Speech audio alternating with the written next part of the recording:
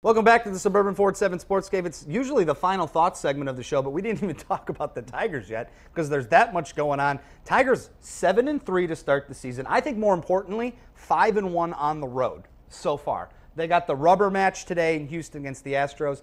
Verlander, let's talk about him. He goes out, he throws two meatballs in the first inning, then he settles down. Six innings of nice work, eight strikeouts, only two walks and those two dingers. Baseball's a sport where history matters for some strange reason, and he's always been mediocre or you know average in April. So it's not unexpected. But you know the way he battled back yesterday was really good, and what a difference it makes having a freaking bullpen. Yes. It is a lot different, I isn't it? I mean, it? it's, it makes Nice. a manager look good.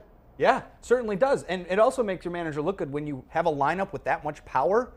And six of the first 10 hits for the Tigers yesterday were for power. Yeah. I mean, that, that, Neal, when you look at this rundown, or rundown, when this lineup, you basically understand what you're going to get if you produce. And you're talking about two guys earlier in the show, uh, or before the show, who, who are overproducing. well, Nick Castellanos right now, with, with all due respect, he's not a 390 hitter. A nice player, Right. and, and he's young, and we don't know what the ceiling is with Nick Castellanos. So that's why I say temper some of your expectations with this lineup.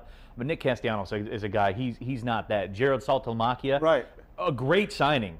Could you put him in these spots? And he's been huge. How Three, big is three he? home been? runs. How big has he and been? uh, most of the home runs have been important home Right. runs. It's easy to get caught up in early season baseball. 162 games, so we have 152 more to go. Miggy hasn't shown a lot of power yet, No. so that'll change. To, so it works both ways. You need ways. Victor Martinez obviously to stay healthy, and that's that's been my biggest question mark from spring training to today to next month to the All Star break.